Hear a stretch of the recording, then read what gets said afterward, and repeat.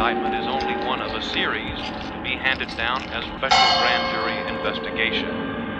Grave robbing in Texas is this hour's top news story. An informant led officers of the Muerto County Sheriff's Department